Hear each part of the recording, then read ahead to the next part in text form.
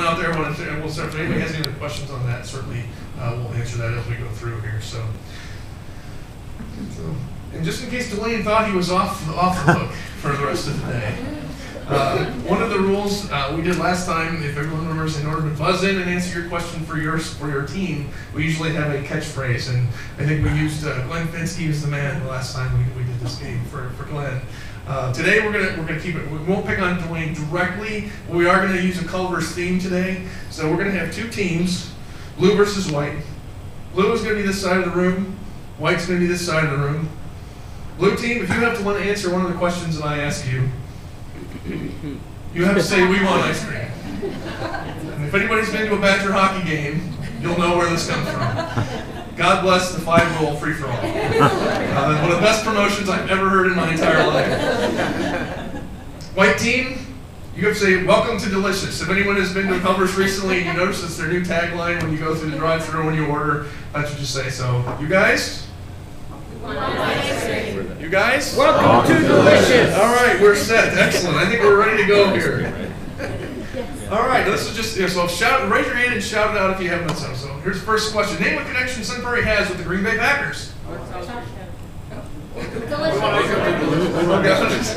this one. We'll go Nancy. You got the first one. Yes, Tauscher. Mark Tauscher is, is, is technically he lives outside of Sun Prairie, but we'll count him because he's close enough. So that's one. Anybody else? Fans forever. This side, anybody else? It's like Family Feud. You guys get first shot to answer the question. Anything else? Oh, nobody else? You guys get a chance to steal for points. Anything else? Fans forever. Wait, Wow, fan forever, a past business who was here. Well, we, that, that is something we definitely had on the list. Um, so, okay, that's two. Is there any other ones? Anybody else? Do you want delicious? I don't know. Yep. I have mine. Oh, yeah, you're on there. You're good. You're not saying no. It's like, Um, is the pilot still Well, That's true. I, I, I think that we have, we would have to, judges, we have to give that one some credit. I don't have that one down, but that's true. Um, there was a pilot, one of, uh, uh, I think Brett pilot used to be from right around here, area, so. Uh, well, here we, the official, the officials, Frontier Communications, is Terry, everybody here today? Didn't make it today? Frontier is actually a corporate sponsor of the Packers. Uh, and is in regular, has regular interactions with the team and does, does quite a few things with them there.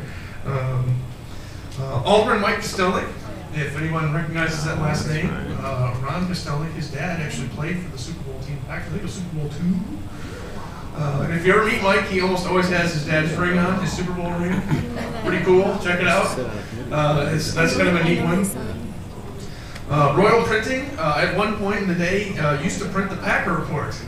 Uh, so anybody, I was a, I was a Packer fan growing up in Illinois, and I always thought, why did I know Sun Prairie? It was destiny. I knew I was going to end up here because I knew that's when they used to print that paper every day.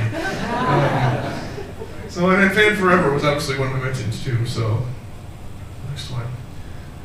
So we Scott briefly mentioned the reorganization that we're kind of looking at. This, um, no offense, right staff, you guys can't answer.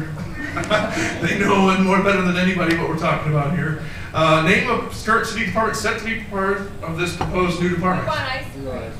Park and rec. Park and Rec. Well, I'll, I'll I will grant that one. It's just the rec staff actually. Oh, Parks is actually going to Public Works right now, but I will, we will count that. We will allow that as an answer. Anybody else? Not IT. Not IT. Thank goodness. They Those guys have a lot going on. It'd be a tough one. So, Nobody else knows? Anybody else uh, reading about the budget? by the way? Tourism is one. And hold on, we know. What, what do you say first? we want ice cream. We want ice cream. Okay, there we go. So tourism, yes, is definitely one of them. Anybody else? We'll go through some of these. Recreation department is one there. Uh, Sun Prairie Media Center, uh, the Historical Museum, Transit Commission, Business Improvement District, Tourism Commission, and Economic Development. Now, if any of you are thinking, what in the world do those departments all have to do with one another? Welcome to the club. We had that same thought process when uh, the proposal first came out. Uh, there are several similarities, uh, although there, you know, each one certainly provides a very specific service to the community. There are some common elements, and just to save time, we'll pop through some of these. They're all non-regulatory, very service-oriented, highly customer-focused departments. Um, they have a role in, a very significant role in maintaining and advancing the image of our community.